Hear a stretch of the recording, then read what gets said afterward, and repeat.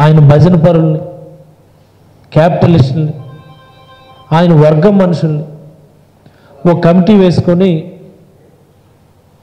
ఈయన ఆల్రెడీ ఒక డెసిషన్ తీసుకొని ఆ కమిటీల నోటి ద్వారా ఒక మాట చెప్పించి ఆయన ముందుకు వెళ్ళిపోయాడు ఆయన.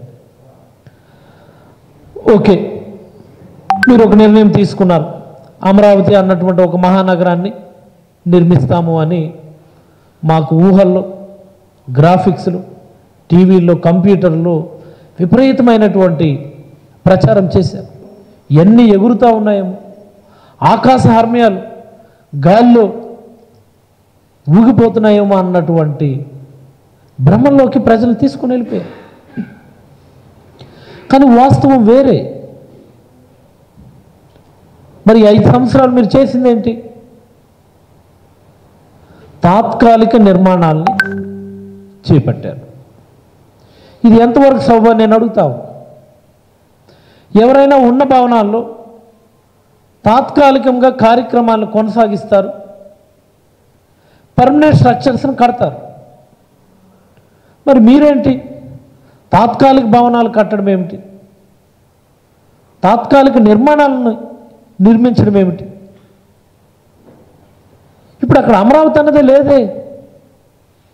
మీరు నిజంగా అమరావతి అన్నటువంటిది కట్టే ఉంటే ఇప్పుడు కనీసం ఒక ఇరవై శాతం మేర ఇరవై ఐదు శాతం మేర పురోగతి కానీ సాధించే పరిస్థితి ఉంటే ఈ ఇంత చర్చ వచ్చేదే కాదు. ఎందులో వెతికి చూసినా అవినీతి మూలాలే కనిపిస్తూ ఉన్నాయి. రైతులు సైతం వాళ్ళకి ఇవ్వాల్సినటువంటి అభివృద్ధి చేసినటువంటి ప్లాట్లు ఇవ్వలేదని వాళ్ళకి కౌలు రైతులకు ఇవ్వాల్సినటువంటి పెన్షన్లు కానీ పరిహారం కానీ రాలేదని ఇప్పటికీ గగ్గోలు పెడుతున్నటువంటి పరిస్థితి. మరి ఇలాంటి పరిస్థితుల్లో చంద్రబాబు గారు వ్యవహార వ్యవహారం నచ్చక టీడీపీ వ్యవహారం నచ్చక మొన్నటి ఎన్నికల్లో ప్రజలు ఒక బ్రహ్మాండమైనటువంటి మ్యాండేట్ ఇచ్చారు. ముఖ్యంగా ఈ రాజధాని పరిధిలో ఉన్నటువంటి ఎమ్మెల్యేలు సైతం వైఎస్ఆర్ కాంగ్రెస్ పార్టీ ఎమ్మెల్యేలు గెలవడం జరిగింది. దాని అర్థం అమరావతి అన్నటువంటి దాన్ని చంద్రబాబు గారే నిరోధించారు అన్నటువంటిది చాలా సుస్పష్టం. మరి ఇలాంటి పరిస్థితుల్లో ఇప్పుడు జగన్మోహన్ రెడ్డి గారి ప్రభుత్వం వచ్చింది. మరి ఇప్పుడు పరిస్థితులు మనం ఒక్కసారి అంచనా వేసుకుంటే నేనైతే చాలా ఒకటే చెప్పగలుగుతాను. రాష్ట్రం విడిపోయినప్పుడు ఎలా ఉందో ఈ రాష్ట్రం అప్పుడు ఉన్నటువంటి అభివృద్ధి పరిస్థితులు ఎలా ఉన్నాయో అప్పుడు ఎలా ఉన్నాయో ప్రజల జీవన ప్రమాణాలు ఇప్పటికీ కూడా అలాగే ఉన్నాయి. ఏ మార్పు కూడా లేదు. ఇప్పటికీ కూడా రాజధాని అనేది మనకి లేదు. కేంద్ర ప్రభుత్వ మ్యాపుల్లో సైతం ఇదే రాజధాని అన్నటువంటి విషయం ఇప్పటికీ కూడా సూచించలేదు. మరి ఇలాంటి పరిస్థితుల్లో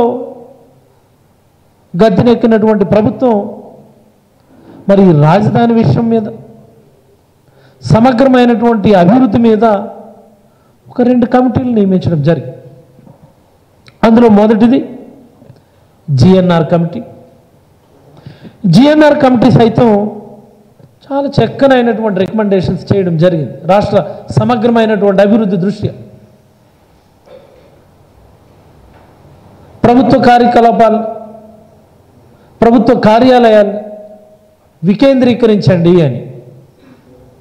విశాఖపట్నంలో ఎగ్జిక్యూటివ్ క్యాపిటల్ అమరావతిలో లెజిస్లేటివ్ క్యాపిటల్ మరి అలాగే కర్నూలులో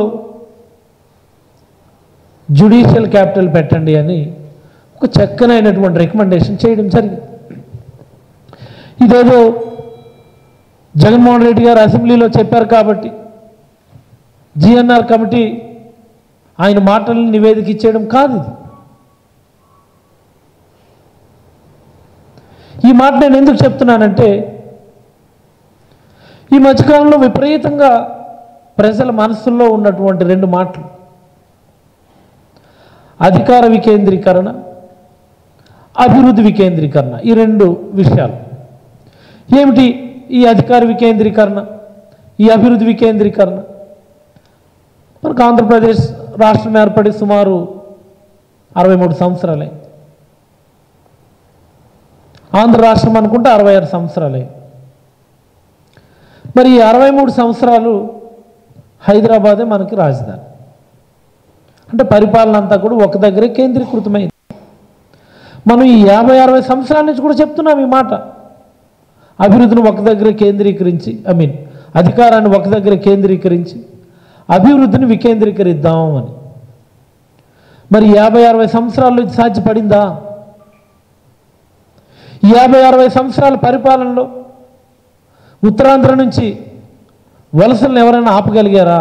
మీరెక్కడున్నా ఏం చేస్తున్నా ప్రపంచంలో ఏం జరుగుతుందనేది ఇప్పుడు మీకు పెట్లోకి తెచ్చేసింది one line app. Political movies రాశి ఫలాలు ఆరోగ్య సలహాలు సీరియల్స్ విశేషాలు. ఇలా ఒకటేమిటి? బోలెడన్ని విశేషాలను మినిట్ టు మినిట్ మీకు అందిస్తుంది one line app. So late ఎందుకు? డిస్క్రిప్షన్లో ఉన్న లింక్ ద్వారా వన్ లైన్ యాప్ డౌన్లోడ్ చేసుకోండి. One line it's for every